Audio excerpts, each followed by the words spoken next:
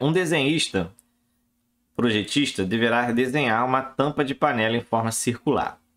Para realizar esse desenho, ela dispõe no momento de apenas um compasso, cujo comprimento das hastes é de 10 centímetros, um transferidor e uma folha de papel com um plano cartesiano. Né? Para esboçar o desenho dessa tampa, ela afastou as hastes do compasso de forma que o ângulo formado dela, é, é, por elas né, fosse de 120 graus, como está aí o desenho. Tá? E aí ele disse aí que a ponta seca está no ponto C, a ponta do grafite está no ponto B, é... e aqui o topo do compasso está no A. Né? Ele explicou a figura para vocês. Né? E aí ele fez o desenho, e aí ele disse aí, ó, após concluir o desenho, ela o encaminha para o setor de produção. Ao receber o desenho com a indicação do raio da tampa, verificará em qual intervalo este se encontra e decidirá o tipo de material a ser utilizado na sua fabricação de acordo com os dados. Então ele vai olhar o raio né, dessa tampa, né, desse, dessa circunferência aí que foi desenhada, e vai dizer qual tipo de material que vai ser usado com base o tamanho do raio. Tá? Então aí deu a tabela, Considere raiz de 3 aí como sendo 1,7. E aí ele pergunta, né? O tipo de material a ser utilizado pelo setor de produção será. Então a gente tem que descobrir o valor do raio, né? Para saber em qual intervalo ele está, né? Qual é o valor aí desse intervalo. E descobrir qual o tipo de material. Então, olhando o desenho, o que, que a gente tem? A gente tem o tamanho do compasso, certo? Que ele disse que a perna do compasso mede 10 certo? E ele quer saber o raio, né? Vou chamar aqui de R, tá? Ele quer saber o raio. Como que a gente vai fazer isso, né? Lei dos cossenos, né? Se você olhar com carinho, você vai ver que esse triângulo que está aqui é um triângulo que tem um ângulo aí de 120, né? Eu posso até desenhar ele aqui do lado, ó. 120 está para lá, para cá. Pronto, aí, ó. Ficou horrível, mas na minha cabeça ficou melhor. Então é 120 graus, né? Aqui, aqui é 10 e aqui é 10, tá? E ele quer saber o raio, que é esse tamanho que está aqui, certo? É, e aí, para quem não lembra a lei dos cossenos, ela é aquela, é aquela, é, começa, né, com, com o teorema de Pitágoras, né? E depois tem aquele conserto que leva para a lei dos, dos cossenos. Então, se você lembrar do teorema de Pitágoras, né? A gente vai usar com relação a esse ângulo. Então, seria algo do tipo r ao quadrado igual a 10 ao quadrado mais 10 ao quadrado. Então, a gente teria aí o teorema de Pitágoras dentro da lei dos cossenos. Só que aí, como é isso é para um triângulo qualquer, a gente utiliza a lei dos cossenos, que seria menos duas vezes os lados é, sem ser o R, então 10 vezes 10, vezes o cosseno daquele ângulo que está ali.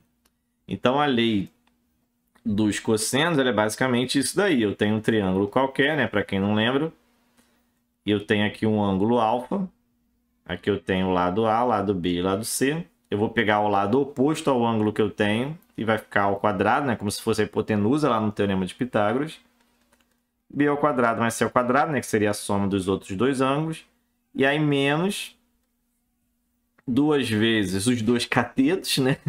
Fazer essa, essa analogia bem bem grossa aí, né? Vezes o, opa, vezes o cosseno do ângulo aí em questão, tá? Isso é a lei dos, dos cossenos, tá? Foi o que eu apliquei aqui nesse triângulo do 120, tá? É, e agora é conta, tá? Vamos em busca do, R, do R. Então, R ao quadrado, 10 ao quadrado é 100, mais 100 menos 10 vezes 10 é 100, vezes 2, 200. E o cosseno de 120 é um valor que você não sabe de cabeça, né? né? Se você é um mortal, né? um realismo mortal, você não sabe de cabeça.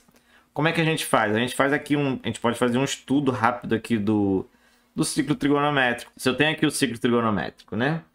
É, ele vai ter aqui. Fazer aqui o bonitinho. Pronto, né?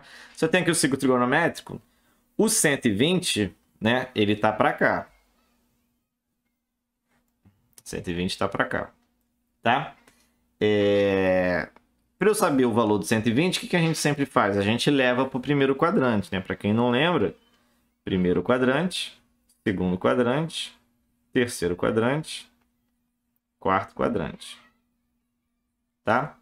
A gente vai transferir esse 120 para o primeiro quadrante. Então, quando eu vier com ele para cá, a gente utiliza o eixo Y como espelho, né? Então a gente vai pegar esse ângulo que está aqui e vai transferir para cá, né? Como se fosse um espelho.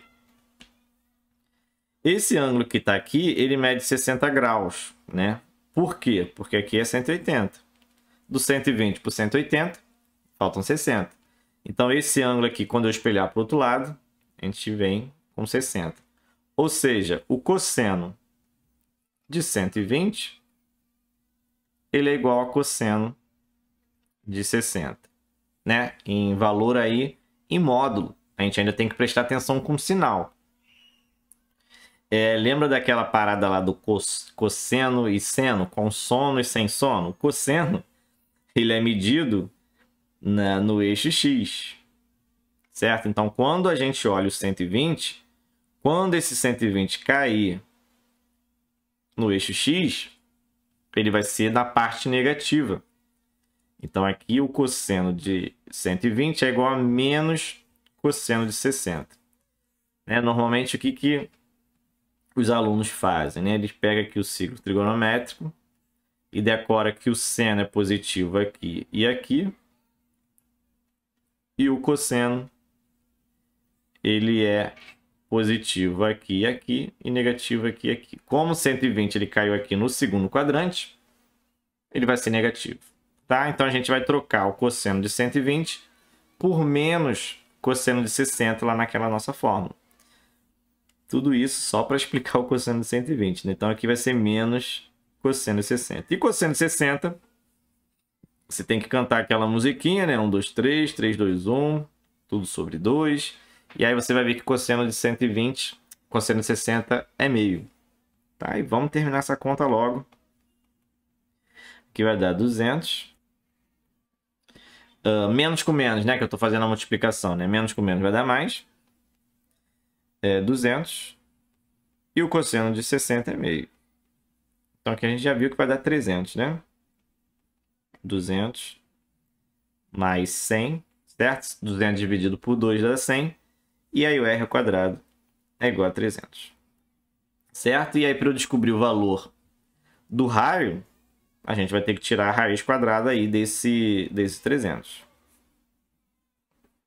Aqui, a gente nem precisa fatorar, né? A gente pode usar aquela ideia de transformar o 300 como sendo 3 vezes 100.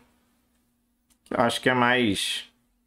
Digamos que é mais elegante, né? A gente pega os 300 e transforma em 3 vezes 100. Por que, que eu fiz isso? Porque eu sei que o 3 vezes 100 é a mesma coisa que raiz de 3 vezes raiz de 100. E raiz de 100 é 10. E o raiz de 3 ele falou para eu, trans, é, trans, eu trocar, né? Transferir, para trocar. Ele fala que a aproximação de raiz de 3 é 1,7. Então eu vou trocar o raiz de 3 por 1,7. 1,7 vezes 10, ou seja, o raio é igual a 17. Certo? É difícil, ainda não acabou. Por quê? Porque ele não quer saber o valor numérico, né? Ele quer saber qual é o tipo do material. Então, 17, onde é que está o 17 aqui? Agora ficou fácil, né? Está aqui. Certo? Está entre o 15 e o 21. Ou seja, o material dessa tampa vai ser o material 4 letra D de dado.